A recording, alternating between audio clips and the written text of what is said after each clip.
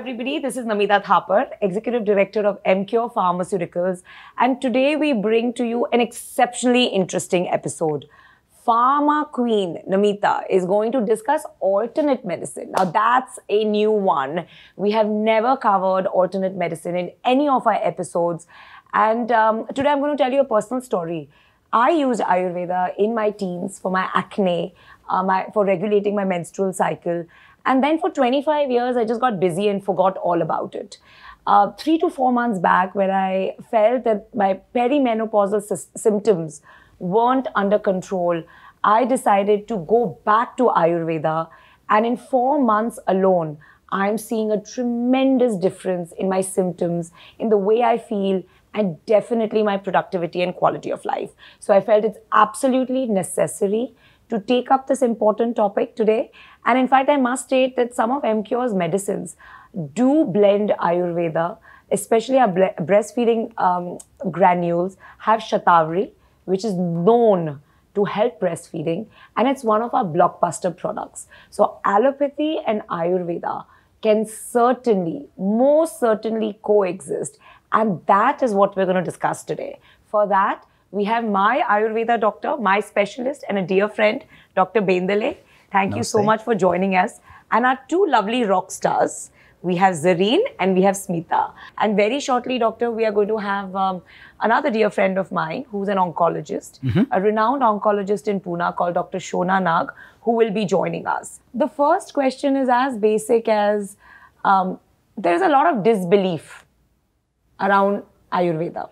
Any alternate form of medicine, credibility is a big question mark. When we talk about the beliefs or disbeliefs of um, any patients, including cancer patients, let me tell you, share you the data of, uh, at which is happening at the global standards. Uh, global level, the data is uh, saying that about 64% of cancer patients are using complementary and alternative medicines. Wow, fantastic. High percentage. Yeah, this is a huge percent. And um, uh, there was a big article in Lancet uh, why the people are going to CAM modalities. So they have categorically identified the, the needs of cancer patients. And uh, these are the particular things where people opt for alternative medicines. And in Ayurveda, uh, in India, Ayurveda is being practiced widely since ages. We are proud to mention that um, we have a group of doctors and uh, we have separated out cancer clinic and we are running exclusively oncology uh, clinic. We have 18 MD doctors 18 is a working. great 18 doctors in 18 your clinic in my who clinic. look only at oncology. Yes, exclusively in oncology. And how many patients have you personally seen?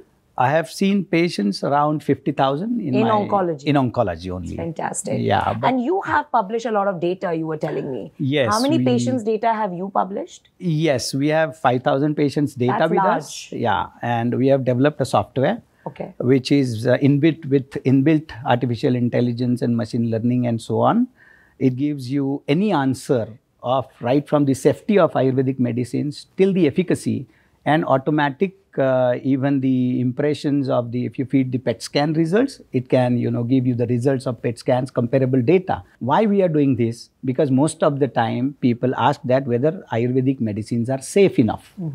So we adopted the global parameters and we keep on doing these tests every two months. Where can I find this data of 5,000 patients? Uh, we have taken Ayurveda to ASCO, which is American Society of Clinical Oncologists. ESMO, that is the European Society of Medical Oncologists. AACR, that's the American Association for Cancer Research.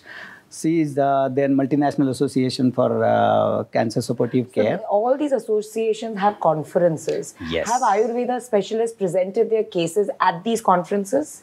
Unfortunately, not. Why not? And um, we feel that uh, it is the best platform to take Ayurveda globally because Ayurveda and yoga is such a thing which only our country has. Absolutely. And we must showcase our sciences, and there is a need, and the market is all over the world. So when you say that these associations, you've had conversations, have, if, if not speaking at their conferences, have you published some of your work in their publications? Oh, yes. We have presented our data in all these conferences. At the same time, we have publications in the one of the top-notch journals in the world, like um, Annals of Oncology, which carries the impact factor of 47. Okay. Okay. Are there some really good universities in Ayurveda uh, where if a, if a doctor has got their degree from there, you know that brings with it a lot of credibility? Second question, so a layperson like me, if I don't have word of mouth, where do I go around getting a rating or finding good doctors? Yes, so uh, there are a um, couple of good institutions in Ayurveda, um, since uh, some of them are before independence as well. Uh, Jamnagar University, now it has turned into university. Then Banaras Hindu University, they have started the All Indian Institute of Ayurveda, like AIIMS in allopathy. Even the AIIMS has started the Ayush Vibhag. Ayush, Ayush department has been started now and it started working already in AIIMS. Similarly, there is AIIA, All India Institute of Ayurveda, and there one regional center is also working in Goa of AIIA. Okay. In Pune, we in Pune we run the one of the oldest institutes in uh, in Ayurveda, our Tilak Ayurveda Mahavidyalaya Tarachand Hospital. These are the quite credible institutes. And is there a centralized database where I can get access and get, uh, you know, like maybe registered numbers of all the certified Ayurveda uh, specialists and what universities they come for? How many years they've practiced. Does such a registry I, or database exist? I don't think such kind of thing exists, but you can get the data of what Ayurvedic doctors are there through the medical portals uh, like MCIM, the Maharashtra Council of Indian Medicine. Coming back to the disease profile, there are always certain diseases where Ayurveda has a larger impact or shows more, uh, we discuss experience versus evidence than others. Can we talk about that? Like, which are the therapies or disease profiles where you've seen the maximum impact of Ayurveda as a discipline? Yeah, actually, uh, the biggest objective of Ayurveda is swasthasya swasthya rakshanam aturasya vyadhi parimokshaha. This means that whoever is healthy, to keep them healthy. And this prevention cannot be a primary prevention, it can be secondary prevention also. When a person is being treated by primary cancer, in order to prevent the secondaries, Ayurveda comes in when a patient of kidney failure or liver, liver uh, failure uh, treated with earlier medicine, we don't want the episode again. So secondary prevention, Ayurveda also plays a vital role. And there are a couple of other systems where Ayurveda can be very you know, potent like gastrointestinal tract, liver disorders, then renal disorders, urinary disorders, gynecology. There's Absolutely. a lot uh, Ayurveda can uh, share with it. Musculoskeletal, mental disorders are also another thing where I can Ayurveda can uh, help these patients. Ayurveda believes in personalized medicines, and uh, like nowadays we talks about genome and genetics, and uh, even now the rate at which the modern medicine is moving even the genetics is uh, getting behind and it is being taken over by epigenetics. So what is epigenetics is nothing but the lifestyle. So everybody comes with their own lifestyle. So they have a very typical markup of their own physical elements. So Ayurveda understands it through Vat Pitta Kapha. Right. We do have their understanding through various dhatus and their prakriti and so on. And then we design a specific objective for that particular uh, patient. Right. Then we carry on, and especially when it comes to us personally, then we we keep the data as per the global norms and analyze it, as I said, including the safety till efficacy. We simultaneously does it on the global parameters as well. Absolutely. And you know, going to most of the social circles and talking about Ayurveda, um, I see the biggest challenge as uh, people not sticking with it for as long as you need to, right? Because Ayurveda is also, like you said, used as preventive, building your immunity. Uh, but even for treating, it takes time. Yes, that has been going on. Not only our challenge, but it's to all Ayurveda for fraternity. And uh, people always, of course, believe that Ayurveda takes time because Ayurveda's approach is little different. Ayurveda right. is not symptom alleviating kind of science, but Ayurveda uh, goes to the roots of the diseases. And then any Vaidya across India plans how can I plan so that this disease can be prevented forever. Absolutely. And that is where we give advice to, you know, diet, the lifestyle, and then some part is medicine. We don't give yeah. much importance to medicines only as such. It's more integrated. It's more integrated. Correct. And uh, I mean, that is how everybody works. That's fantastic. And I think that's a great segue to talking to our two lovely ladies. Um, why don't we start with you, Smita? Tell us about your journey. When did you meet Doctor? How did you find out about him? And how has he helped you? in a tremendous way. He has helped me, and because of him here, I'm sitting here. And जब doctor साहब ने मेरे को मेरे husband को बोला है you just give this lady to me for एक डेढ़ साल and I make sure that she will come back to me all by herself and i did that very i think in six months time i went on my own without my husband's support So you beat cancer 14 years back. Yes. With the help of doctor and his medication. yes And for 14 years, you've been cancer free. And I can I can add a little bit on a little scientific part. She has been suffering from a Burkitt's lymphoma, which is a very rare. She is very precious, by the way. She's not a only cancer survivor, but it's too precious in cancer survivorship also because Burkitt's lymphoma you will get few hundreds of cases all Oh over the God. world. Very rare. Very aggressive, very rare, hard to treat. The median survival as of today, which is recorded, is 35 to 39 months when the people are responded with the therapy. When they do not respond, it not uh, move on more than four months. And you said a big part of it was your positive attitude. you have to be i was always a positive child आप यकीन नहीं करेंगे Namita doctor साहब का medicine लेने के तुरंत बाद तीन हफ्ते में आई use to go down and take a walk early in the morning with a fresh air and that is where I felt yes I can do this Thank you so much, Smita. That was just such a heartfelt and beautiful journey that you shared. Let's move on to Zareen. Zareen, tell us about your experience with Ayurveda. I had a UTI, Okay. and the doctor may have suspected something. She told me to get a sonography done. And in that, it was shown that I had a tumor uh, connected to my renal artery. And uh, so I went through these three cycles of chemo. Each cycle consists of three chemos. Right.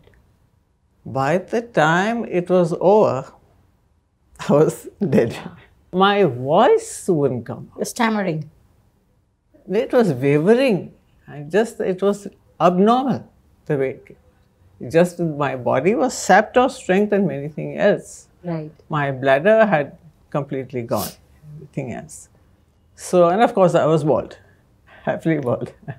Okay. So then I came to him. So he very openly told me that uh, my aim is to give you quality of life. There were no false promises. The minute I heard quality of life, I jumped up. I said, How wonderful. And I was so weak at that time. And I was completely finished. But then that very thought encouraged me to take his medicine, give him, the, you know, have implicit faith in that. And the energy that it gave me, I, in a few weeks, I was able to walk about. After the last chemo, the results were very bad. And I went into depression. But with his medicines and the energy that I, you know, came up with, helped me to understand the good things in life, to count my blessings, and to move ahead. So now it is just something that's in my body. I'm treating it, but then it's not me. I'm not identified with it at all. That is so beautifully said. Thank you so much Most- for sharing your journey so beautifully. Um, and now we have a lovely guest, renowned uh, oncologist of Pune, uh, Dr. Shona, and a dear friend of mine. What are your views in terms of do we see a world where alternate medicine and allopathy can truly coexist? most of my colleagues who are oncologists uh, say an absolute no no to Ayurveda, especially when active treatment is going on. Now, where this comes from is a lot of our active principles in chemotherapy, drugs, targeted therapies, mm-hmm. newer treatments are derived from similar biological principles and plant active principles. And we don't really know the exact content of the Ayurvedic substance, so we are afraid of interactions, which can be deadly.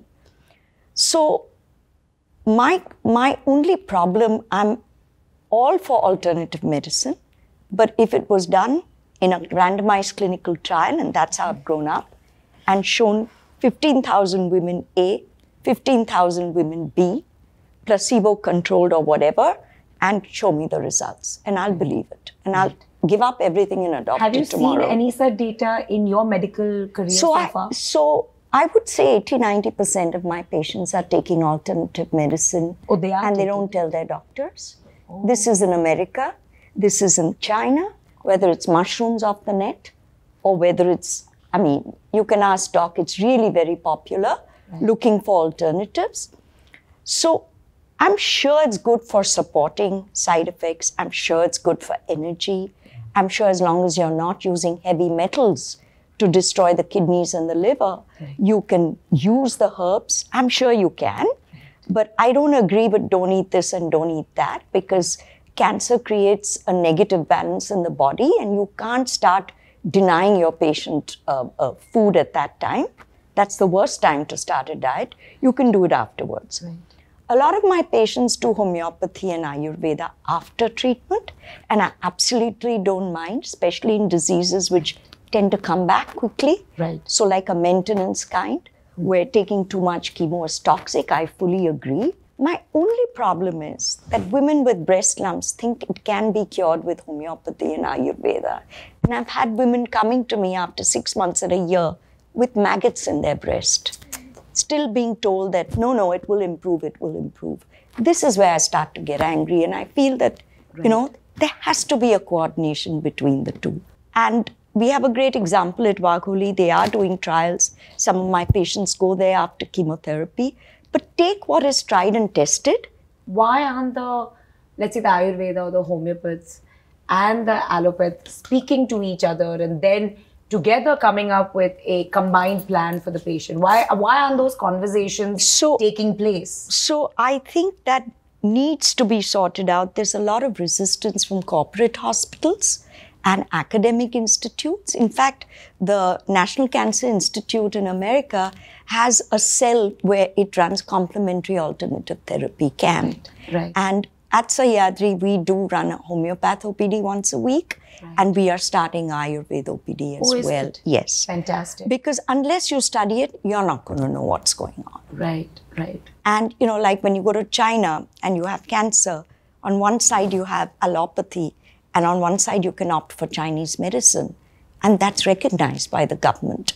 For us, because so many believers, so many non believers, so much. Uh, uh, so much misconception out there, lack of communication. That's not happened. Doctor, anything you would like to add to her? Yeah, I, I mean, mean- brilliant comments. Yes, I very absolutely. And honest I, I comments. completely believe in every word what she stated. And uh, it is not new for not only us, but all sensitive Ayurvedic doctors across the country. And that is the main uh, reason, according to Sushruta, which is the Ayurvedic surgeon, um, advised surgery for Yes. breast cancer Yes. and uh, we follow Ayurveda. So whenever there are n number of incidences we do have when patient because most of the time the females they are you know not mentally prepared for MRM removing removal of the breast, but um, and it happens uh, very regularly in our clinic that after visiting three oncosurgeons they're still in a denial mode. But we play a very different role convince them at this point of your life you must go undergo for surgery that to mrm Fabulous. and they listen to us. I don't know why. Because they are sometimes biased. As Of she course. may mention that people are biased you know. And uh, we convince them once they are done with mrm then we start our treatment for the secondary prevention sometimes they have been advised as per the uh, subtypes of this well, go for herceptin or Yes. chemo or whatever like that then we give a choice that you can take this treatment along with it or we because that's uh, the the point Yeah. what she is actually referring that we have kept data of these patients where uh, can chemotherapy go with ayurvedic treatment what are these contents of ayurvedic treatments?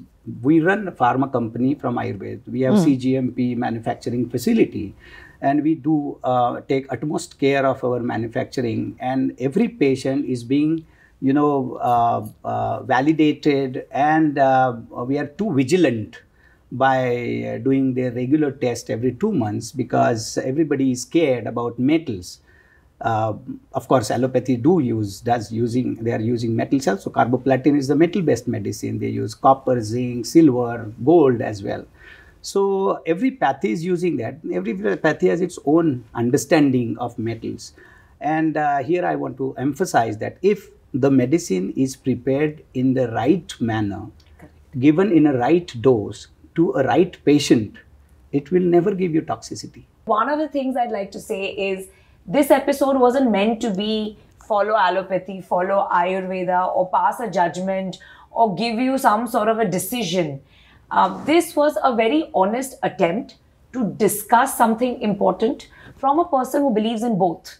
And this was a very honest attempt to call out to the government, call out to the institutions for a partnership between, like you said, Yeah. the hospital, pharma industry, academia, government. Can we not all come together to have this kind of a beautiful dialogue, highlight stories like these lovely women, present the cases, present the trials, the data in established, credible journals. Can we not bring a collaborative, integrated approach to blend these two wonderful uh, sciences and bring something to the world that is truly unique and truly Indian. This episode today was hopefully the first step in a long, is going to be a painful journey to try to attempt this. But I'm an eternal optimist. We all are right here. And I really hope we see that day when we can have a fantastic collaboration between allopathy and Ayurveda. Thank you so much.